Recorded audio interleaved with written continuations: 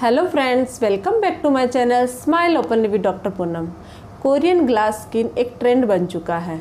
हर कोई चाहता है, हर लड़की ये सपना देखती है कि उसकी जो स्किन है, वो ग्लास की तरह चमकेगी। इसके लिए वो कोरियन ग्लास स्किन पाने के लिए हर चीज़ सोचती है कि इसके लिए क्या क्या किया जाए कौन कौन से कॉस्मेटिक ट्रीटमेंट कराया जाए, जिससे उनका चेहरा है वो एकदम बेदाग हो, सुंदर हो और एकदम चमकदार बने। ये सिर्फ़ हमारे इंडिया में नहीं, बाकी और देशों में भी इसका काफ़ी प्रचलन है। क्योंकि सब लोग ये चाहते हैं कि उनकी स्किन है, वो सुंदर दिखे, बेदाग दिखे और क्यों ना चाहे, क्योंकि हमारी, हमारा जो चेहरा है, वही हमारा फ़र्स्ट इम्प्रेशन होता है। अगर वो सुंदर दिखता है, हमारा जो कॉन्फिडेंस लेवल है, वो बढ़ जाता है। तो इसी रेस में कोरियन ग्लास स्किन है। बहुत सारे लोग ये सोचते हैं कि इसके लिए बहुत सारे कॉस्मेटिक ट्रीटमेंट होते हैं वो बहुत महँगे महँगे होते हैं। साथ ही सर्जरीज होती है स्किन से रिलेटेड उनके द्वारा ही उनकी स्किन है, वो चमकदार बन सकती है। लेकिन ऐसा नहीं है। आप घर के कुछ प्रोडक्ट यानी घरेलू जो आपकी रसोई में पाए जाने वाला कुछ सामान है, उनकी मदद से भी आप अपनी स्किन को एकदम शीशे की तरह चमका सकते हो। मैं आपको इस वीडियो में सिर्फ़ एक फेस पैक बनाना बताऊँगी, जो आप घरेलू, घर की रसोई में पाए जाने वाली कुछ चीज़ों के द्वारा है। और आप यकीन कीजिए कि ये जो फेस पैक है, इसको लगाने के बाद आप खुद मानोगे कि हमें कहीं जाने की ज़रूरत नहीं है। सिर्फ़ इसके इस्तेमाल से भी हमारी स्किन है, वो चमकदार बन सकती है और ग्लास की तरह चमक सकती है। साथ ही मैं आपको थोड़ा सा जो कोरियन की जो लड़कियाँ होती है, कोरियन ग्लास स्किन के लिए क्या क्या क्या रूटीन फॉलो करती है, उनके बारे में भी आपको थोड़ी सी जानकारी दूँगी।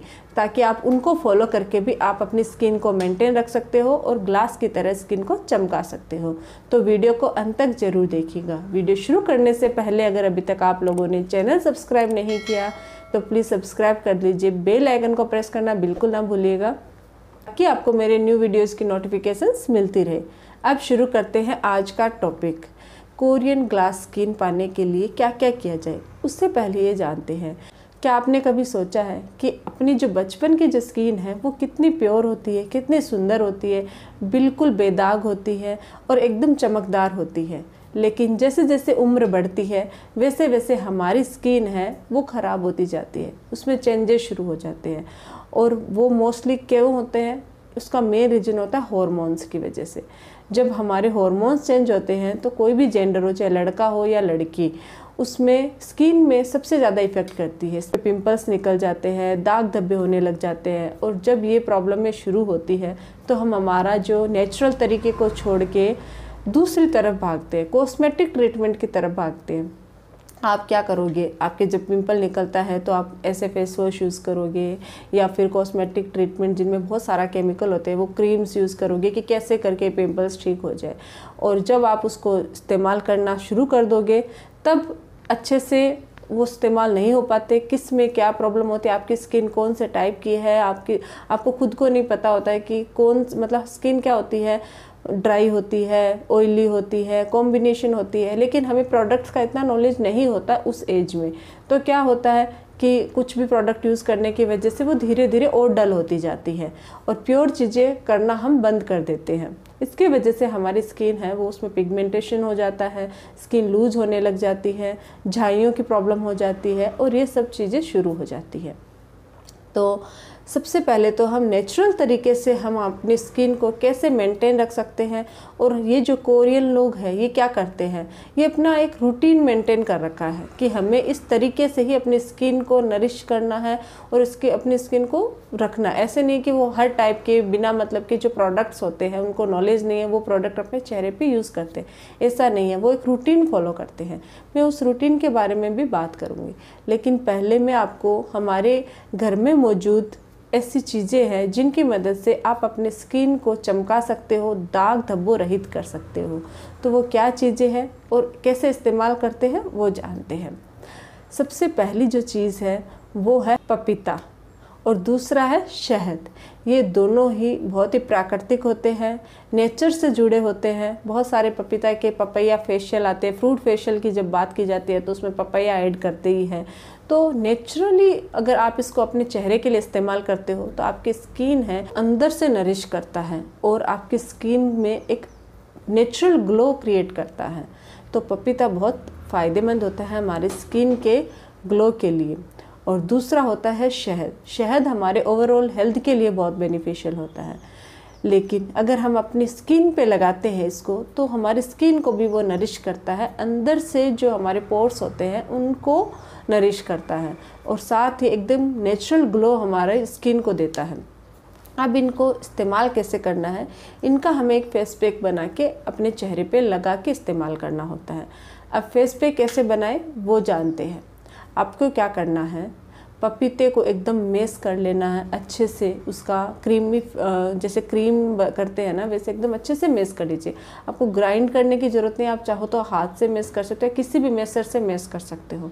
जब आप पपीते को अच्छे से मेस कर लोगे तो उसके अंदर आपको एक चम्मच शहद ऐड करना है। और फिर इसको एक अच्छा सा मिक्सर बना लीजिएगा अच्छे से मतलब फेंट लीजिए और अच्छे से कुछ देर तक मिक्स कर लिए ताकि वो दोनों जो इंग्रेडिएंट होते हैं वो अच्छे से मिक्स हो जाए। जब वो दोनों मिक्स हो जाएँगे, तब आपको उसमें हल्की सी हल्दी, एक चुटकी हल्दी उसमें ऐड कर देना है और उसको भी थोड़ा सा मैश कर ले मिक्स कर लेना है।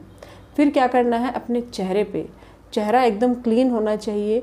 मतलब पहले आप फेस वॉश या किसी से भी अपने चेहरे को एकदम साफ़ कर लीजिए, धो लीजिए, उस पर कोई भी जैसे डस्ट वगैरह लगी हुई नहीं होनी चाहिए और अच्छे से ड्राई होना चाहिए। ड्राई होने के बाद आप अपने चेहरे पे वो जो फेस पैक है, उसको अप्लाई कीजिए।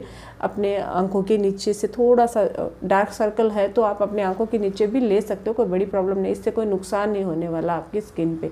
तो आप पूरे ओवरऑल अपने चेहरे पे उसको अप्लाई करके कम से कम 15 से 20 मिनट तक छोड़ना है, उसको ड्राई होने दीजिए। जैसे आप नॉर्मली बाहर से जो फेस पैक लेके आते हो, वैसे उसको जिस तरीके से अपने स्किन पे इस्तेमाल करते हो, वैसे ही इसको इस्तेमाल करना है। और जब ये ड्राई हो जाए तो आप नॉर्मल पानी से उससे वॉश कर लीजिए। अगर ऐसा आप रात को करते हो तो जब वॉश कर लो तो उसके बाद आप नॉर्मल जो नेचुरल जो नारियल का तेल होता है, प्योर वाला तो वो तेल लेके मिल जाए। अगर आपको प्योर नारियल का तेल नहीं मिलता तो आप कोई भी कोकोनट ऑयल जो मार्केट में अवेलेबल है, वो भी लेके आ सकते हो।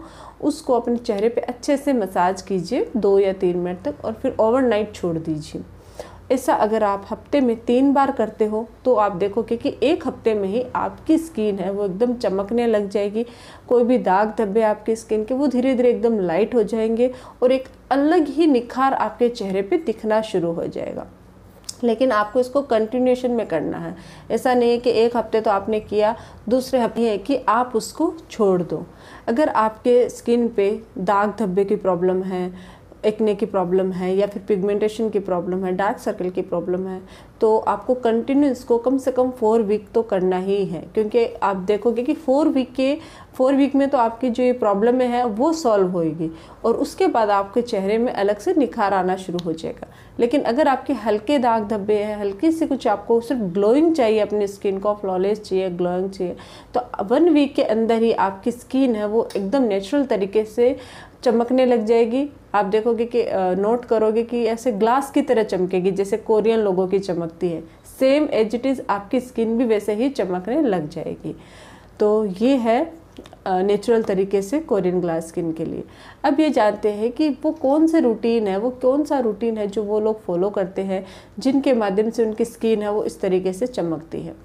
आपको क्या करना है, उन्हीं की तरह रेगुलर अपनी लाइफ में वो रूटीन है वो फॉलो करना है।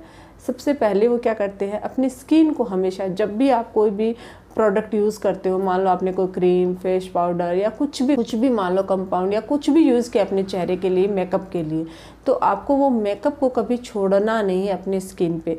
आपको रात को अच्छे से टोनर की मदद से, पानी की मदद से या फिर आप चाहो तो ऑयल की मदद से, कैसे भी करके पूरा जो आपने मेकअप किया है वो पूरा अच्छे से क्लीन करके सोना है आपको। अपनी स्किन की सबसे मेन जो चीज़ है वो होता है क्लिनजिंग अपनी स्किन को अच्छे से क्लीन करके ही आपको रखना है। आपको ओवरनाइट कभी भी मेकअप लगा के नहीं रखना होता। मेकअप को अच्छे से निकाल के ही सोना है।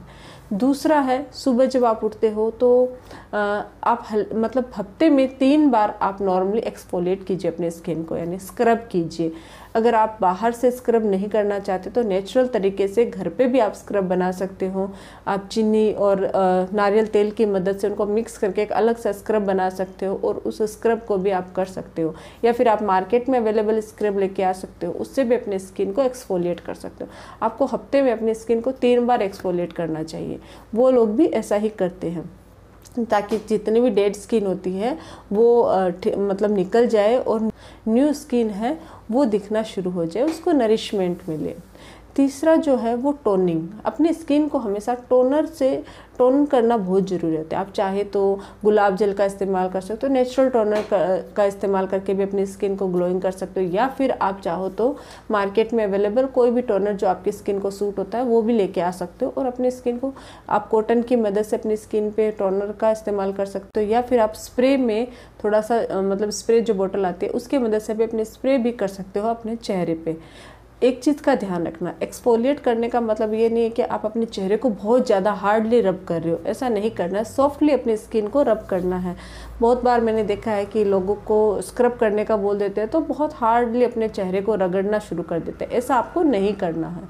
हल्के हल्के हाथों से सॉफ्टली क्योंकि आपकी स्किन बहुत सॉफ्ट होती है तो उसको बहुत ज़्यादा ज़ोर लगाने की ज़रूरत नहीं है। तो इन चीज़ों की मदद से आप अपनी स्किन को सुंदर और ग्लोइंग बना सकते हो, फ्लॉलेस बना सकते हो। कोरियन जो ग्लास स्किन का आपका सपना है, वो आप पा सकते हो। तो ये है आज का हमारा टॉपिक। अगर आप लोगों को मेरा ये वीडियो अच्छा लगे तो प्लीज़ चैनल को लाइक कीजिए, शेयर कीजिए और सब्सक्राइब कीजिएगा। Thank you.